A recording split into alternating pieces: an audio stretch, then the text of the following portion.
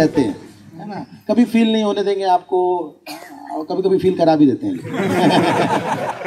तो मेरे कहने का आप लोग मतलब फ़ायदा मत उठाना कभी। ये मत सोचा अच्छा प्रभु जी इतने हल्के हैं। कोशिश मत करना।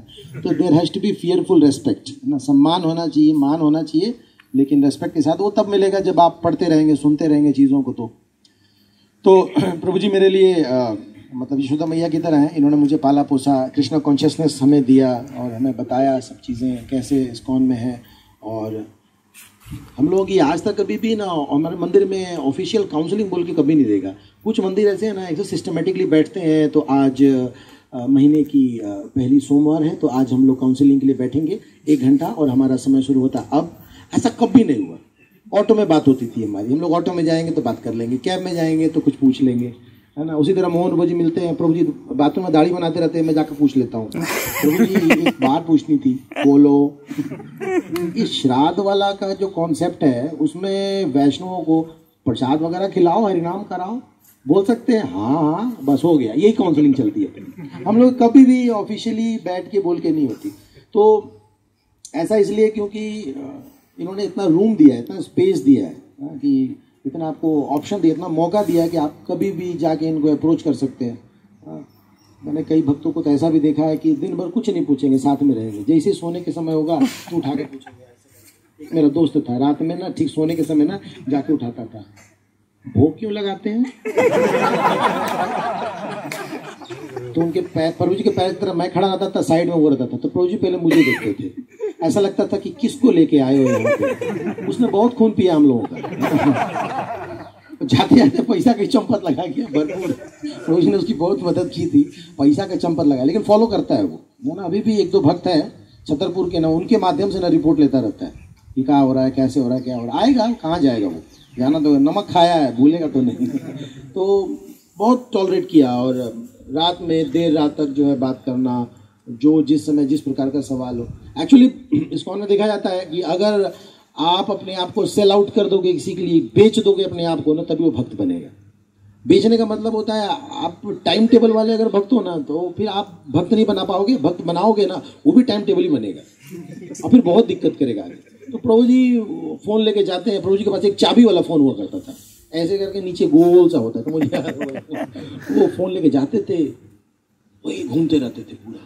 उस एरिया में घूमते रहते मुझे कितना बताते कितना बताते हैं। लगा, इतनी ज़रूरत क्या है? उस समय हमारे अंडर में कितने लोग नहीं थे। फिर बाद में जब मेरा खून पीना शुरू किया ना तो मुझे प्रभु जी की याद आती थी। कितना सहा है इन्होंने रे भाई। क्योंकि जो कष्ट में होता है, वो बहुत बोलना चाहता है। सुनने की बहुत शक्ति चाहिए, है ना? आपको इसलिए भगवान ने दो कान दिए, आपको सुनना पड़ेगा। और सुन के बाद सतो गुण में उसको जवाब देना। फिर वैसे लोग जिनको आपने अच्छे से सुना है बहुत ध्यानपूर्वक सुना है ना, फिर वो अच्छे भक्त बनते। हैं तो प्रभु जी ने को शुरू से ही मैंने देखा कि बहुत सुना है। हम लोगों ने हालाँकि उतना ज़्यादा परेशान नहीं किया। हम लोग टू दी पॉइंट क्वेश्चन पूछते थे और जैसे कुछ भक्त बता रहे थे कि प्रभु जी के लेक्चर्स के या प्रभु जी किसी को समझाते हैं तो उसमें हमारे कई सारे आंसर्स मिल जाते हैं। तो हम लोग ऐसे करके उठा लेते थे, अपने सवाल जो है ना, वैसे उठा लेते थे वहाँ पे कि प्रभु जी क्या कहना चाहते हैं। कभी काल ऐसा ज़रूरत पड़ता था कि डायरेक्टली जाके पूछते थे। तो प्रभु जी ने एक बार मुझे बड़ा अच्छा आंसर दिया था और मैं भी अपने गाइडेड में सारे भक्तों को बताता हूँ। एक बार मैंने ऐसी बात हो रही थी घर पे मदद करने की। तो मैं भी जॉब करता था तो घर पे कैसे मदद करना चाहिए? तो प्रोजी ने अपना एग्ज़ाम्पल दिया। उन्होंने कहा कि घर पे मदद अवश्य करना चाहिए घर वालों को कभी नहीं भूलना चाहिए, लेकिन एक बार में वाला मदद नहीं करना चाहिए। पूरा उठा के डेढ़ लाख, दो लाख, पाँच लाख, बीस लाख दे दिया। नहीं, हर महीने देना। बारह महीने का बारह चेक काटना। और हर महीने, उस समय कुछ एक रकम था, उन्होंने बताया, उतना का मैंने पीएनबी का अकाउंट काट के दे दिया। और बोला, याद रखना, ये जो पेमेंट है ना, ये मम्मी के नाम से होना चाहिए। पापा के नाम से। अब मेरे को नहीं मालूम इसकी क्या गहराई है। फिर जैसे जैसे बोला, मैंने वैसे वैसे किया। बड़ा फ़र्क पड़ा। घर वाले बड़े खुश। बहुत सही जगह है तू। अच्छा काम कर रहा। और उन्होंने ये भी बताया था कुछ दिन बाद बताया कि देखना, बाकी का काम ना मम्मी करती है। और सजी मम्मी करती थी। देख, मेरे बेटे ने चेक भेजा। तुम लोगों ने क्या दिया मेरे लिए? क्या क्या मेरे लिए? पापा को भी कई बार डांट पड़ जाता था। और प्रभु ने ये फॉर्मूला बता मैंने कहा, बड़ा काम आया भैया, ये तो। उस समय से लेकर जब तक माता श्री हमारी थी, धरती पर, तब तक हमने हर महीने उनको देता रहा। और मम्मी को ऐसा फील होता था ना कि ये लक्ष्मी पर्टिकुलरली मेरे हाथ में है। हालाँकि पापा करते थे हेल्प लेकिन एक होता था कि बेटा ने भेजा है। तो अगल बगल में बताना, लोगों को बताना चेक दिखाना, ना, बहुत बड़ा रकम नहीं था, लेकिन वो जो स्ट्रैटेजी था बड़ा अच्छा लगता था। मतलब विन विन सिचुएशन मैंने ऐसे आंसर्स में ना मेरे को दिक्कत, ना उनको दिक्कत, है ना, एक स्ट्रैटेजी बता देते थे। प्रॉपर प्लानिंग और स्ट्रैटेजी बताते थे ऐसे करके प्रॉब्लम सॉल्व हो जाते थे। एक बार मैं ऐसे ही फंसा था बेस में आने की बात हो रही थी। तो मैं अपने मित्र के साथ रहता था, विजय गौर प्रभु विशाल नाम है उसका तो लक्ष्मी नगर में रहता था। तो अमोघला प्रभु के टच में रहता था। अमोघला प्रभु आप, वो, आप समझ लीजिए कि आप जितना उस पर देखते हो ना, चैनल पे, है ना, पर्सनल लेवल पे आपको उतना टाइम नहीं देंगे। मतलब डिपेंड करता है। जनरल लोगों का बहुत कंप्लेन आता है। प्रभु जी का उल्टा है। चैनल पे आजकल दे रहे टाइम, लेकिन पर्सनल लेवल पर पूरा टाइम देंगे। तो लेक्चर वगैरह उनसे सुनते थे, लेकिन जब मैं इस तरह के टेक्निकल चीज़ें जब आती थी ना, ये दाव पेच वाली कैसे क्या करना है तो उन्होंने मेरे को इनसे मिलवा दिया था। तो मैं प्रभु से मिलता था। तो मैं जाता था और ऑफ़िस से कॉल करता था प्रभु जी को कि प्रभु जी, ये लेक्चर में सुना है कि प्रसाद खाना चाहिए। मैं जहाँ रहता हूँ, यहाँ तो ऑनियन गार्लिक पड़ता अभी क्या करें? प्रभु जी ने बहुत प्रेम से ना इसमें एक बिल्डिंग का एक एक ईंट निकाल रहे थे, उसको गिराने के लिए एक एक ईंट निकाल रहे थे। कैसे मेरे माया जाल को निकाल रहे थे ना, ऐसे करके। और मैं जिसके माध्यम से दिल्ली से आया, उसको कैसे भूल सकता हूँ? उसके प्रति तो आभारी रहूँगा। लेकिन उसकी श्रद्धा भी बनी रहे है ना? और इधर भी श्रद्धा बढ़े, कैसे प्रेम से तोड़ना है इधर जोड़ना है, सब कुछ किया। लेकिन प्रभु जी ने इतना सिस्टमेटिकली किया, उन्होंने बता दिया कि देखो, जो आपके सुहृद होंगे, आपके साथ आएँगे। जो आपके अपने होंगे, आपके साथ आएँगे, जो आपके अपने नहीं होंगे, वो नहीं आएँगे, क्योंकि भगवान से नफरत करते हैं। मैंने ये फॉर्मूला अपनाया, फिर मैं भगवान की वैसी व्यवस्था हुई कि हम लोग चार लोग रहते थे, मैं, मेरा फ्रेंड और दो और भैया लोग रहते थे। वो दोनों भैया का ट्रांसफ़र हो गया, तब बचे हम दोनों। अब हम दोनों में, मेरे फ्रेंड से मैं उम्र में बड़ा था तो थोड़ा ज़्यादा अपने को बड़ा समझता था मैं। तो I was feeling more like a guardian तो लेकिन हमने कहा कि मुझे लगता है कि दिल्ली में हम लोग को अकेले नहीं रहना चाहिए। कोई ना कोई सीनियर होना चाहिए। तो प्लान तो बना ही लिया था तो मैंने उसको बोला कि मैं सोच रहा हूँ मैं कटवरिया सराय चला जाऊँ, वहाँ पर एक सेंटर है बेस है। तो मेरा दोस्त बोला, नहीं, हम लोग वहाँ नहीं जाएँगे, हम यहीं रहेंगे। उन्होंने कहा कि तो मैं तो जा रहा हूँ। क्योंकि मेरे को बात समझ में आने लगी थी कृष्णा तो मैंने कहा, मैं तो जा रहा हूँ। वो दोस्त भी मेरे को बड़ा प्रेम करता था। सामने दिखाता नहीं था, विशाल बड़ा प्रेम करता विजय को। तो वो प्रेम करता था। बोले, ठीक है ठीक है, तू चला जा, मैं नहीं जा रहा। फिर मैं आ गया। पुलिस से बात किया। मैंने बोला पुलिस बहुत बड़ा स्टेप ले रहा ऐसा लग रहा है लड़की घर से भाग रही है। बहुत बड़ा स्टेप ले रहा हूँ, देखना कोई है नहीं यहाँ पे। अरे, कुछ नहीं होगा, चिंता मत करो। एक दिन मैं बात करने गया। उस दिन प्रभु जी ने अपने हाथों से खिलाया था। क्या डेडली तरीका था इनका। अपने हाथ से बना खिलाया था। आधा प्राण तो उसी दिन ले लिए थे। बाकी अगले दिन फिर मैं गया। फाइनली बात करने के लिए तो फाइनली क्या करे? फिर बना के खिलाया। उसी तरह से कह रहे थे प्रभु जी, राबड़ी पिला दिया, खिला दिया। खिला दिया राबड़ी। अब आधा मन तो इसी मार लिया, है ना? ब्राह्मणों की कमज़ोरी वैसी खाने पीने की होती है। अब खाने बाद क्या बोलूँ? तो मन तो बना लिया। मैंने उसको बोल दिया, भाई, मैं तो जा रहा हूँ। पर मैंने ये नहीं बोला तुझे छोड़ के। मैंने कहा कि तू भी आ जा। पर मुझे ऐसा फील हो रहा ना कि दिल्ली में एक शेल्टर होना चाहिए। कोई गार्जियन होना चाहिए, बिगड़ेंगे नहीं यहाँ पे हम लोग। वरना हम लोग की उम्र नहीं है, हम लोग बिगड़ जाएँगे। लगभग पंद्रह सोलह पहले साल की बात बता रहा हूँ आपको। तो फिर क्या हुआ कि फिर मैं यहाँ पे आ गया। अब वो भी मुझे बड़ा मानता था। तो बोला, तू कहाँ जा रहा कटवरिया सर आया। बोला, ठीक है। मैंने कहा, तू आ रहा क्या? बोला हाँ लेकिन तेरे साथ नहीं रहेंगे। तो कहाँ रहेगा? बस अलग रूम लेके रहेंगे। ठीक है। तेरी जानता तो था कि इसका मन तो है, लेकिन वही एकदम से हाँ कैसे बोले, है ना? हमारे कहावत है कि कहले धोबिया गधा पे न चढ़े अपन मन कूद कूद के चढ़े। अगर धोबी को बोलो ना, भाई तेरा गधा पे चढ़ो, दिमाग खराब तुम्हारा गधा चढ़ो और अपने मन से पूरे दिन घूमता रहेगा गधा पे चढ़ के। तो बोल दिया कि, चल तू मेरे साथ खटवरिया तो नहीं आ रहा था। और अपने मन से आ गया, एक अलग सा रूम लिया। अब देखिए उसकी नोटंगी पूरे दिन मेरे साथ रूम में पड़ा रहता था। प्रभु जी का जो बेड है ना, तीन बाई छः का, वो मेरा ही वाला बेड है। सौभाग्यशाली हम लोग। तो वो हम ही लोग वाला बेड मेरे बेड है। तो प्रभु जी तो उस बेड में कितना जगह होगा? हम लोग ऐसे हेल्दी उसी बेड पर घुस के बैठा रहता था पूरे दिन। मैं जॉब से आता था, वो पढ़ाई करता था। तो मैं कहता कि, भाई, तू अपना रूम लिया, अपने रूम पे जाके मुझे सोने दे। नहीं, कोई दिक्कत है क्या तेरे को? उसी में पड़ा रहेगा पूरे दिन। मैंने कहा, तू अब फालतू के पैसा दे रहा है। रूम छोड़ दे। नहीं रूम नहीं छोड़ूँगा। एक दिन भी उस रूम में नहीं रहा। लेकिन रूम छोड़ा भी नहीं कटवरिया भी छोड़ा नहीं, फिर धीरे धीरे धीरे करके यहाँ पे वो आने लगा। अब उसको भक्त बनाना बहुत मुश्किल। और इतना जान लीजिए कि कभी भी अपनों को आप खुद भक्त बनाए मतलब बहुत रेयरली होता है।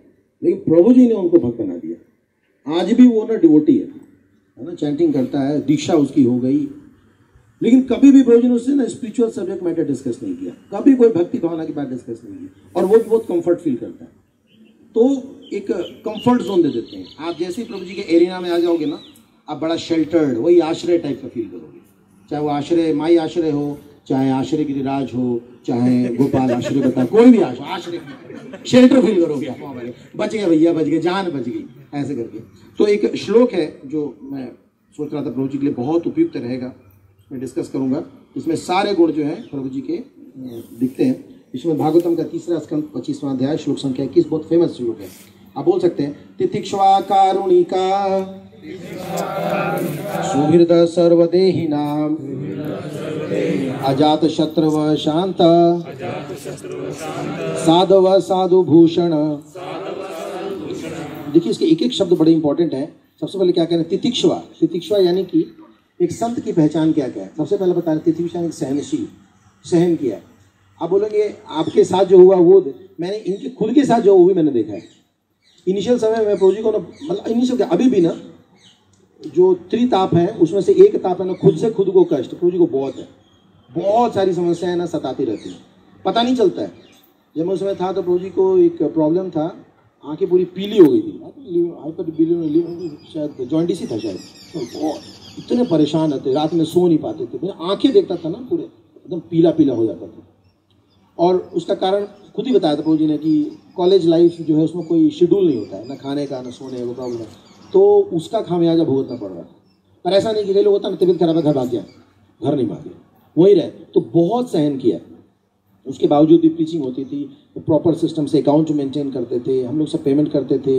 वहाँ पे चलान बोर्ड बनता था। वहाँ पे किसने दिया, किसने नहीं दिया, सारा बोर्ड पे लिखा रहता था। मैं अमल कृष्णा प्रभु और प्रभु जी थे और ओम प्रकाश प्रभु और एक और नमूना था, उसके बारे में आगे बताऊँगा मैं। तो ये सब लोगों को प्रभु जी जो है सारे एकदम अलग अलग क्षेत्र के दिग्गज, है ना? मैं पूरा टाइम टेबल था, अमल कृष्ण प्रभु पूरा पढ़ाकू थे, ओम प्रकाश प्रभु को भगवान ने खास करके हमारे धैर्य की परीक्षा लेने के लिए भेजा था। एक महातमोगुड़ी महान श्रीमान विजय महाराज थे तो विजय प्रभु के पीछे प्रभु इतना टाइम किया ना आप लोगों ने। किस किसने देखा विजय प्रभु को? आप विजय कौन विजय? कटोरे वाले।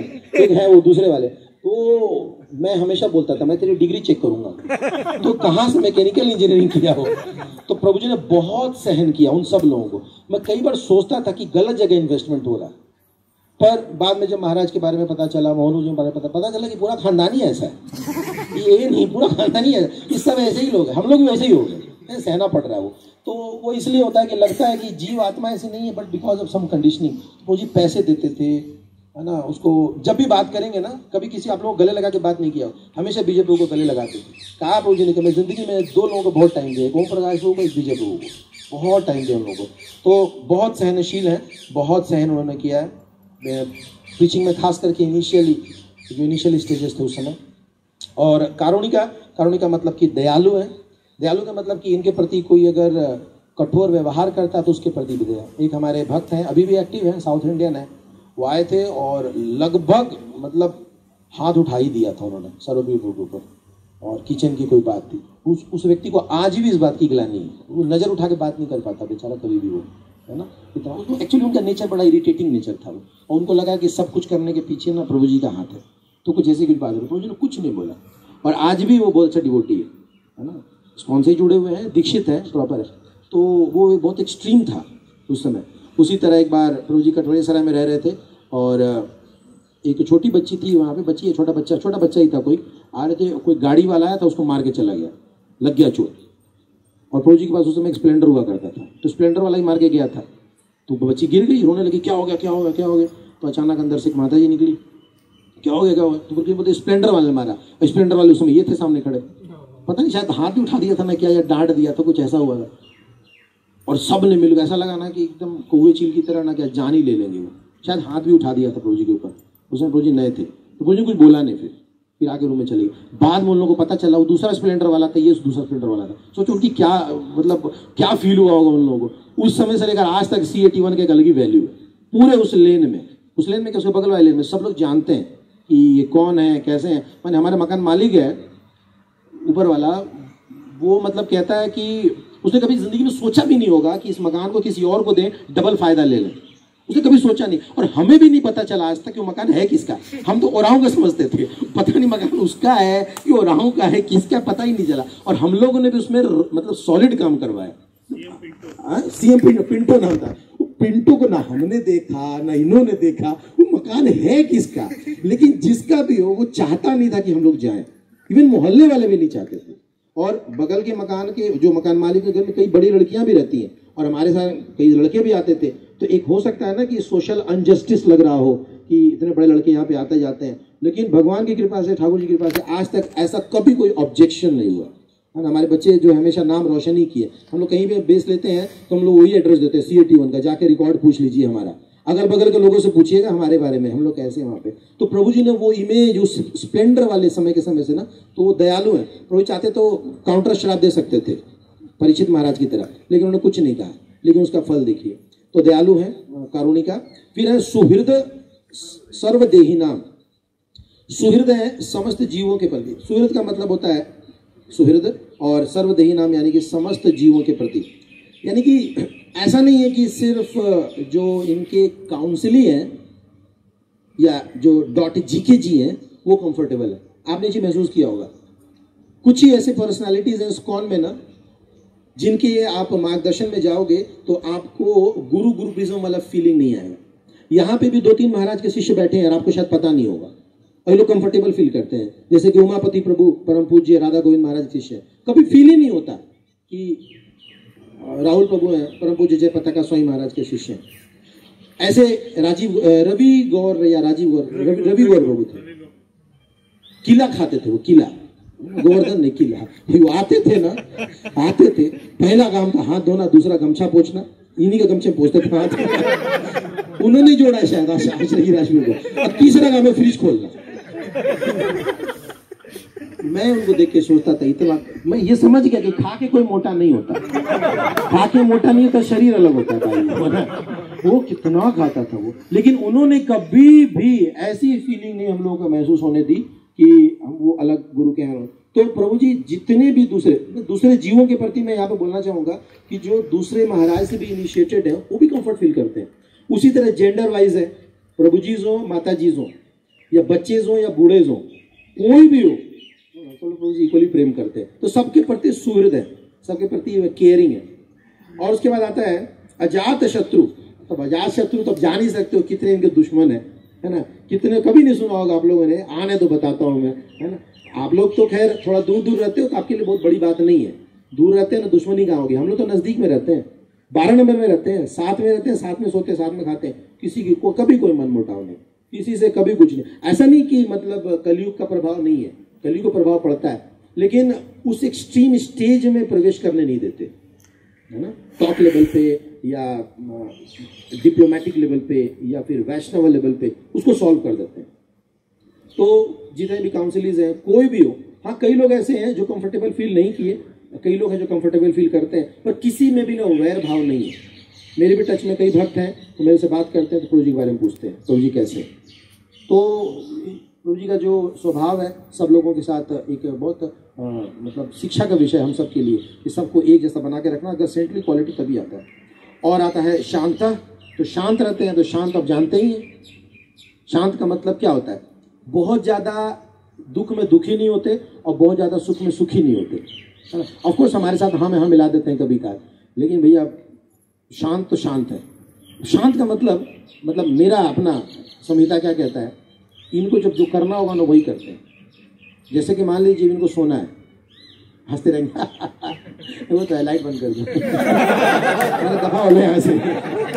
अब ऐसा नहीं कि आपके आपके भाव में बह गए और अपना नींद खराब कर दिया। ना।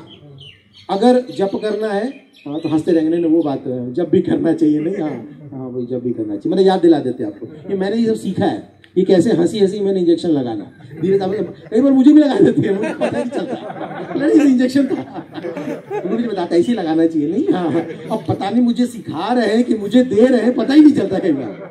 This is very expert management तो शांत व्यक्ति ऐसा कर सकता है। नहीं तो जो अशांत व्यक्ति वो दोनों भावनाओं में बह जाता है। हम लोग कई बार देखो बह जाते हैं। कई बार, कल ही परसों था, आपने सोचा था शाम में पढ़ेंगे, अब किसी का फ़ोन आ गया दुखड़ा रोने लगा वो, अब सुनते सुनते वो दो ढाई घंटे चले गए हमारे। फिर मुझे लगा कल भी इससे बात कर सकते थे।